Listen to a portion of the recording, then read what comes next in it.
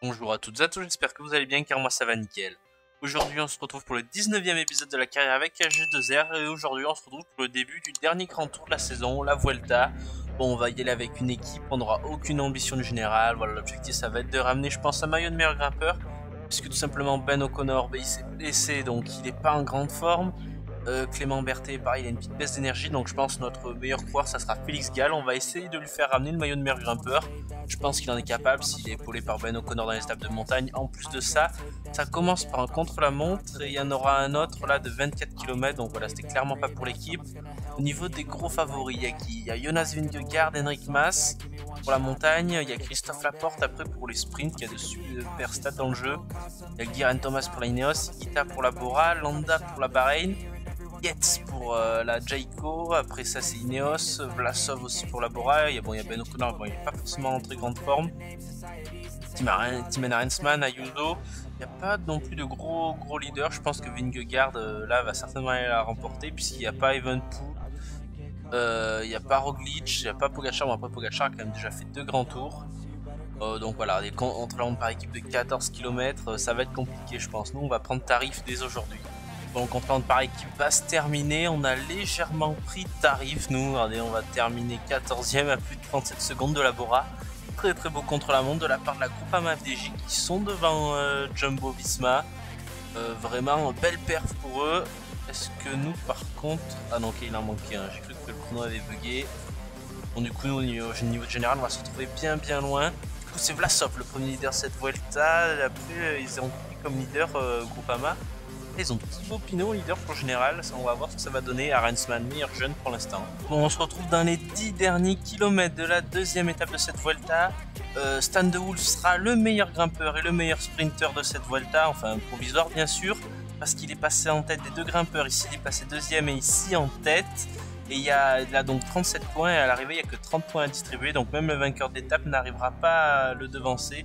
Par contre, Clément, là, tu vas pas nous donner les bidons, sinon tu vas gêner tout le monde. Ben, voilà, il a fait son taf, il n'est pas en forme sur cette Vuelta, donc autant l'utiliser en tant qu'équipier, même très très gros équipier.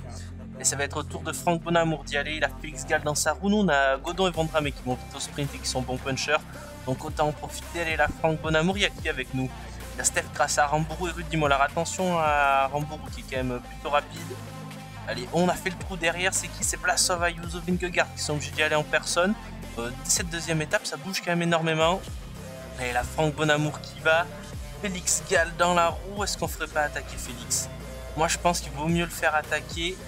On, voilà, on va faire comme ceci. Désolé, je mets pause. Mais bon, là, faut que je pose un petit peu le, le jeu pour voir ce qui va se passer. Et là, Félix qui met une grosse attaque, qui met une grosse menace. Est-ce que ça va pouvoir payer? On va voir. Est-ce que ça roule derrière, tout simplement? Et non, ça laisse partir Félix. Ça, c'est parfait. Mais nous, derrière, en fait, on va pas rouler, tout simplement. Hein. Voilà, ça nous, ça nous sert à rien. Hop, là, la parole là, ça se met à rouler. On va quand même mettre de, rien à rouler. Ça fait quoi? Euh, Non, faut, faut qu'il y aille à fond. De toute façon, maintenant, faut plus qu'il se retourne. Ça sert à rien. Allez, Dorian derrière. Euh, ouais, non, faut qu'on roule, faut qu'on roule. Hein, parce que de toute façon, au cas où que ça revienne, non, il y a quand même 40 secondes, ça me paraît beaucoup. On va lancer le sprint. Nous, derrière, on va aussi lancer le sprint avec Andra. Mais devant, Félix, j'ai l'impression que c'est gagné. Il va même peut-être aller chercher le maillot rouge. Victoire de Félix Gall ici sur la deuxième étape de la Vuelta. Il avait déjà remporté une étape sur le Giro. C'est qui va faire deuxième de l'étape C'est pas Dorian. Allons, Rambourg qui vient faire deuxième. J'ai pas vu, attention, trop bonif. Non, je crois que ça va pas suffire. Ouais, faudra faire attention. Par contre, du coup, O'Connor perd du temps aussi. Mais c'est pas grave, euh, c'est pas grave. De toute façon, O'Connor était pas en forme. Par contre, Gall, s'il prend le maillot rouge, là, ça peut tout changer parce que du coup peut-être euh, une objectif général avec Félix, mais bon ça paraît compliqué avec son 62 de chrono, euh, même sur 20 km il va prendre tard par rapport à Vingegaard. Donc la stratégie AG2R de tout faire péter bah, a fonctionné, voilà, Félix a attaqué derrière, de toute façon on avait assuré le sprint, mais bon Rambourou était quand même très rapide. Ah malheureusement avec s'il y a 31 secondes, 10 secondes de bonification, il est en rouge normalement Félix. Et oui, 4 secondes devant Vlasov, 37 sur Dorian Godon, Aramburu est déjà relégué à 40 secondes. Ouais non, euh, Félix Gall qui s'empare du maillot rouge de leader de cette Volta à la surprise générale clairement après la claque qu'on a pris la veille. Voilà il a su se ressaisir. On en a quand même quelques-uns qui sont placés.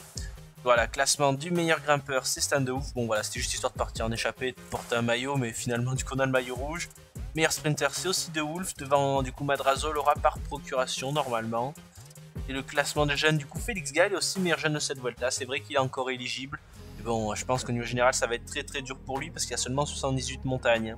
Et la G2R, bien sûr, meilleure équipe avec ce coup de force de Félix. J'avais pas vu, mais des coureurs comme Henrik Mas ont déjà pris 56 secondes. Hein. Tom Pitcock lors des Landa 21 et Gita 21. Donc en gros favori au niveau du général, il y a Ayuso, Yates, Vingegaard et Vlasov hein, qui sont placés. Euh, il va pas pouvoir tenir, euh, Rudy Mollard non plus. Félix Gall 78 montagnes. Euh, ouais non, regardez, il a son pote Max malheureusement. Il a pas un gros pote dans la save. Mais vraiment cette saison, ben, il a gagné combien de courses? Voilà, il a obtenu... Il y a un problème parce qu'il a 5 victoires pro et il en a que 4 là-haut. Ah, je pense savoir quel est le bug. Il a dû gagner un contre-la-montre par équipe. Et je suis sûr que c'est ça qu'il a. Peut-être sur le Tour de Romandie, non. Est-ce qu'il aurait pu gagner un contre-la-montre par équipe sur, le Tour de Catalogne? Non. Non, c'est sûr que c'est un contre-la-montre par équipe qui a fait euh, cette place. On passe sur Volt. Oh non. Ouais, bon, je vois pas trop est-ce qu'il a pu gagner un contre-la-montre par équipe. mais je pense à Costa qu'ici il a que 5 et là où il a. Enfin, ici il a 5 et là où il a que 4. Sinon, cette saison, c'est quand même une victoire étape sur Tirreno, une sur la Vuelta, une sur le Giro et son titre de champion national. Vraiment bonne saison, Félix. Bon, je viens de regarder des résultats et Archie Ryan a gagné la dernière étape du Tour de l'Avenir. Malheureusement, c'est un coureur de la UnoX Développement qui a gagné le général. Euh, j'ai pas fait attention à ce qu'il a fait euh, réellement, notre euh, jeune recrue. Ah, attendez, peut-être le résultat, on peut voir. Oh, il y a aussi Aguns aussi qui a perf, et je, crois qu'on l'a signé ici. Si on l'a signé, il a fait deuxième ici, ok, Riley Pickrell. Il n'y a pas eu d'étape 3, bon ok. Du coup, Archie Ryan qui a gagné la cinquième étape. vraiment étonnant. Ah non, il a même gagné deux étapes, trois étapes. Il a gagné trois étapes, mais il a pas le général. Ah, il a peut-être dû prendre une chute.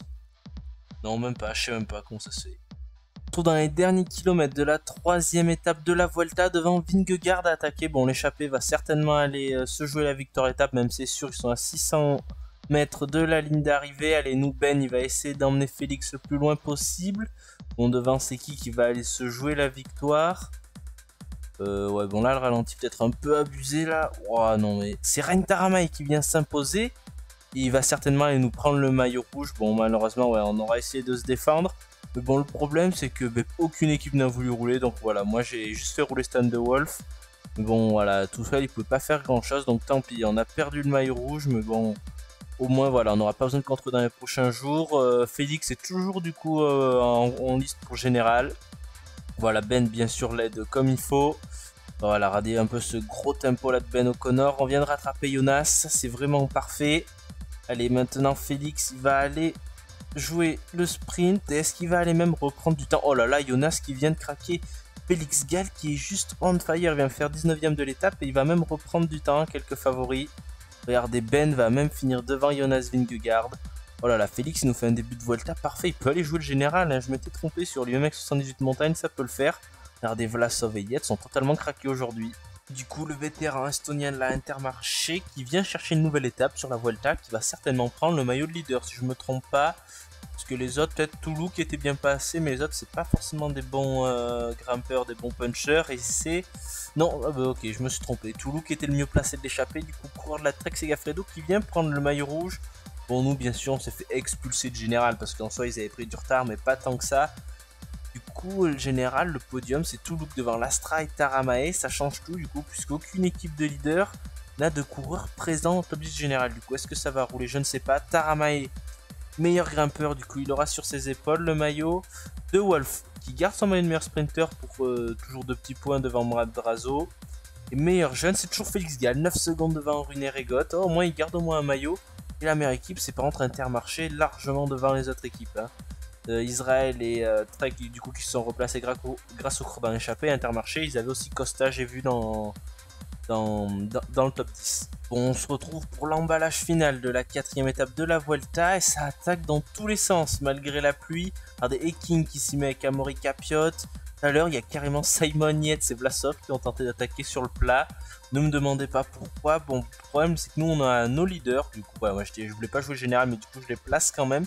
Parce que là, une chute est tellement vite arrivée. Et surtout, bah, avec le sprint, euh, est-ce que les sprinters vont pas être émoussés? J'ai vu qu'il y avait One quand même sur cette Vuelta. Mais le problème, voilà, c'est que ça attaque dans tous les sens. Est-ce qu'avec Vendramé, on peut pas essayer d'aller surprendre tout le monde?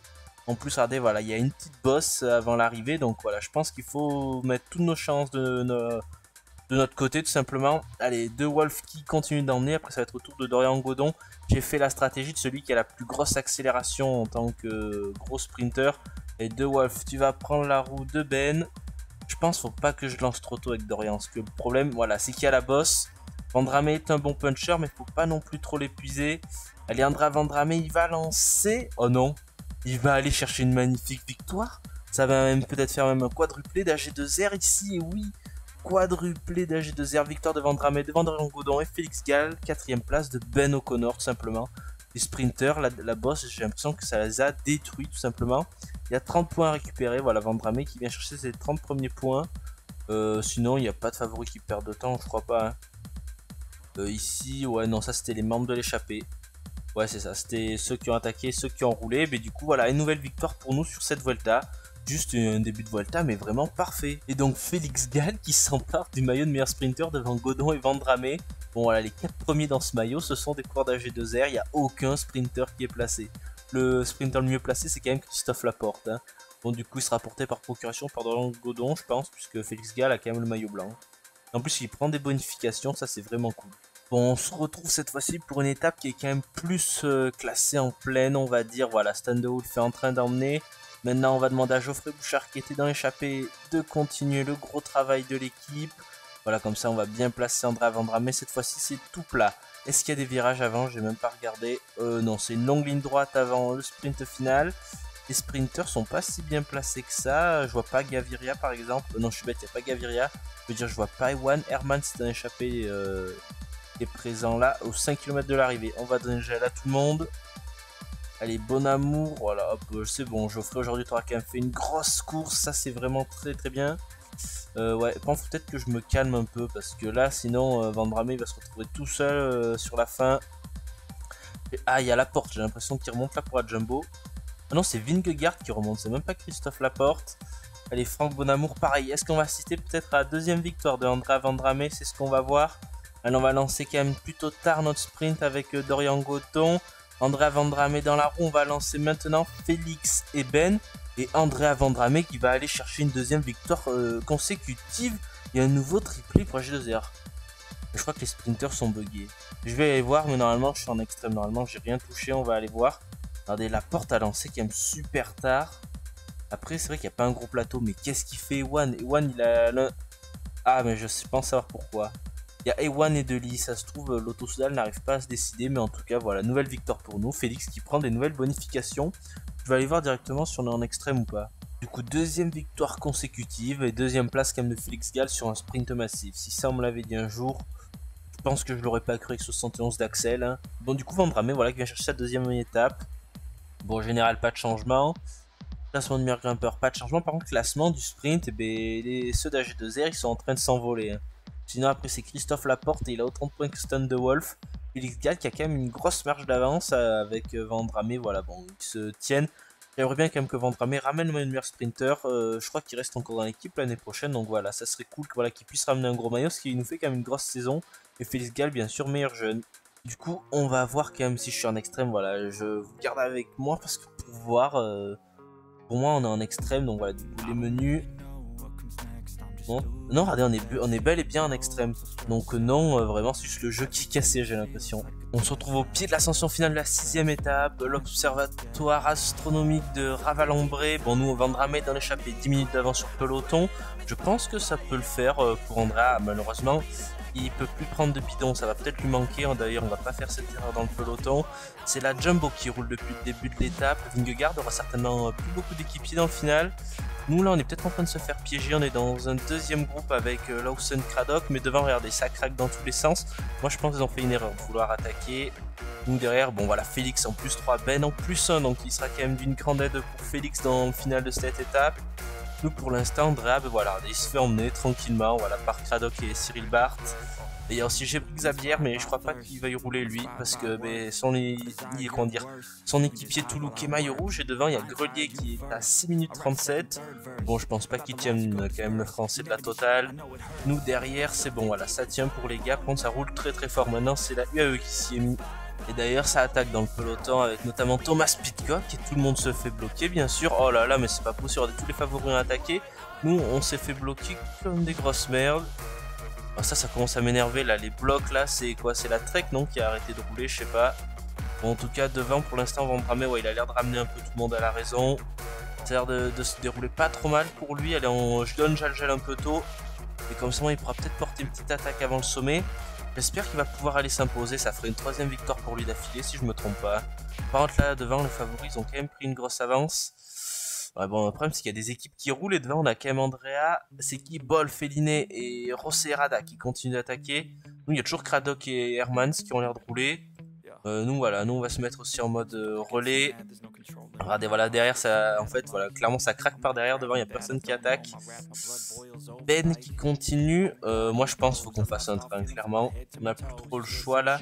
On va mettre Geoffrey, tant pis, tout devant, voilà, les autres on va les laisser tranquilles. Et là Geoffrey, faudrait que tu nous places, voilà, c'est bien. Allez, 5 km, faut que tu continues à rouler comme ceci, c'est bien devant 15 secondes. Non, c'est bon, regardez, on a réussi à le rattraper, le coureur de la Burgos. Est-ce qu'on en placerait pas une petite là avec Vendramé Juste histoire voilà, de, les de les écœurer. Allez hop, voilà, on en met une petite. Voilà, on n'a pas trop accéléré. Derrière c'est Craddock, Bart, Ball. Ça craque pour les meilleurs grimpeurs derrière. Est-ce qu'on va pouvoir aller le faire avec Andrea? Derrière en tout cas Geoffrey continue son gros gros travail. Bon devant on va quand même aller savourer la victoire d'Andrea je pense. Allez, Andrea Vendramé, 600 mètres. Allez, le sommet est juste là. Et oui, Vendramé qui va aller la chercher au sommet et prendre le maillot de meilleur sprinter puisqu'il est passé en tête du sprint intermédiaire. Et victoire de Andrea ici au sommet à l'observatoire. Troisième victoire d'étape pour lui sur cette Vuelta. Magnifique saison de la part de Andrea. Allez, nous, Geoffrey, faut qu'il continue à son gros gros travail. Devant, il y a encore Jonas. Allez, Ben, il va aider Félix. Allez voilà, Geoffrey c'est bon, merci pour le gros travail que tu nous as fait. Maintenant c'est au tour de Clément d'y aller. Parfait, son gel en plus fait effet. par contre, euh, les gars, euh, c'est quoi là votre attaque? Ça fait combien de temps que vous attaquez? Vous avez plus de barre rouge mais vous continuez. Ok, ça c'est un peu énervant quand même dans le jeu. T'as des coureurs, ils ont plus de barre rouge mais ils vont beaucoup plus vite que toi. Euh, ça, je, comprendrai jamais comment est-ce qu'ils font. Oh non, par contre, c'est qui? Oh non, j'avais cru que Clément allait nous bloquer. Allez, la Félix, vas-y, continue. Continue un gros effort là. Est-ce qu'on va pouvoir les rattraper? Non, non. Mais en même temps, notre montagne a fait la différence. Vingegaard, il va prendre 7 minutes dans les dents aujourd'hui. Nous, Félix, on est quand même derrière. On va terminer en même temps que Pitcock et Yates, malheureusement. Tout ça à cause d'un bloc. Hein. Ouais, ça, c'est un peu énervant. On va après on avait un petit peu d'avance sur eux, mais bon, toute l'avance qu'on avait sur Jonas, on vient de la perdre en une seule étape, mais bon voilà, Vendramé vient s'imposer, c'est quand même euh, tout ce qui compte. Et donc troisième victoire d'étape pour Vendramé sur cette Vuelta, Kradok deuxième de l'étape, Yatsebol euh, troisième, euh, Vingegaard ouais, ça doit terminer environ à 7 minutes vu qu'il était dans la route Grelier. Et au général, ah non, Félix a toujours de l'avance. Oh, les cassures n'ont pas été comptées on se fait qu'on a encore de l'avance. Bon, Toulouse, du coup, toujours maillot rouge. Félix, deuxième général. Vingegaard, troisième. Taramay, quatrième. Il a réussi à tenir l'Estonien, ou alors peut-être il était devant nous, c'est qu'il a craqué vraiment dans les derniers mètres. Bon, du coup, Toulouse qui sauve sa tunique pour 20 petites secondes. Euh, vraiment bien joué à lui. Meilleur grimpeur, c'est Quinten Hermans. Bon, avec Vendramé, on l'a pas joué dans l'échappée. Sinon, je pense qu'on l'aurait. Et par contre, meilleur sprinter, c'est André Vendramé devant Félix Gall et Dorian Godon. Voilà, Vendramé qui a quand même pas mal de points d'avance sur euh, les sprinters, donc je pense que ça peut tenir pour lui. Classement de jeunes, c'est toujours Félix devant Ayuso et Thomas Pitcock. Ah ouais, on a eu de la chance, les cassures pour une fois nous ont avantagé puisqu'on est compté dans le temps de Thomas Pitcock qui est à 7,42 et Vingegaard a pris 7 minutes 10. Donc en fait, on perd que 32 secondes sur Jonas.